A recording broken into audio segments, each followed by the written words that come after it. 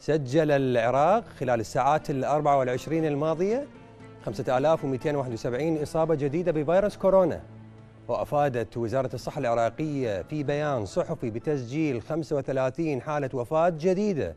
وعلى صعيد متصل نفت الوزارة ما تناقلته وسائل التواصل الاجتماعي عن فرض حظر شامل خلال الأيام اللاحقة.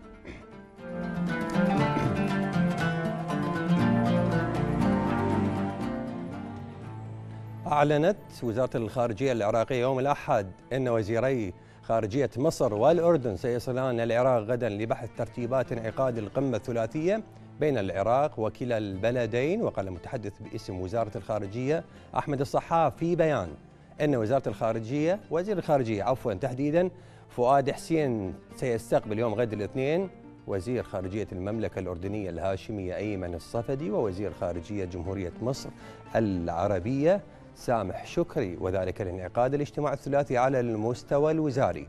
وكان من المقرر انعقاد القمة الثلاثية بين العراق ومصر والأردن ألا أن رئيس الوزراء مصطفى الكاظمي أعلن يوم الجمعة الماضي عن إرجاء القمة إلى أجل غير مسمى على خلفية حادث تصادم القطارين في مصر.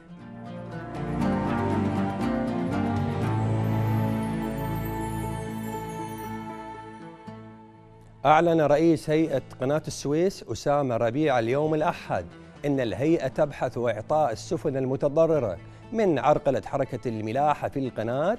بعض التخفيضات بعدما ينتهي موضوع السفينة العالقة وأوضح أن القناة تخسر ما بين 13 و 14 مليون دولار من الإيرادات اليومية بعد توقف حركة الملاحة بسبب جنوح سفينة الحاويات مشيرا إلى أن 369 سفينة تنتظر عبور. قناة السويس.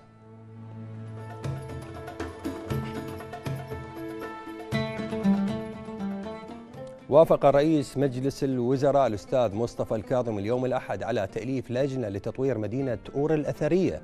وقال في بيان للأمانة العامة لمجلس الوزراء أن المجلس قرر تأليف لجنة بإشراف الأمين العام لمجلس الوزراء تتولى بلورة الأفكار والخطط عن مشروع لتطوير مدينة أور الأثرية وإعداد الكشوفات والكلف اللازمة لإنجازها على أن ترفع اللجنة تقريرا نصف شهري مفصلا إلى الأمين العام لمجلس الوزراء.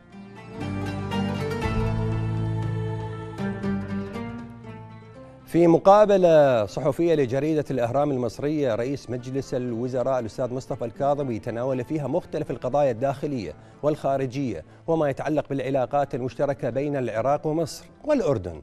وقال نستلهم التجربة المصرية في الإصلاح ومكافحة الفساد وأننا مقبلون على مشرق جديد كمشروع للتنمية والتكامل الاقتصادي. ونواة تأسيسية لتحالف كبير مع مصر والأردن وأن العراق ليس بحاجة لقوات أجنبية وما يحتاجه هو الدعم الدولي. العراقيون نزفوا كثيرا من الدماء ولن نسمح بأن تتحول البلاد إلى يمن جديد وللاضطراب.